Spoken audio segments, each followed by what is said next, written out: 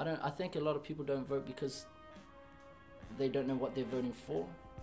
But I've always felt like you're voting for someone else. Growing up, I knew I was the luckiest kid on my street. You know, I was the the only kid that could afford Ninja Turtles, and I knew what it was like to have less.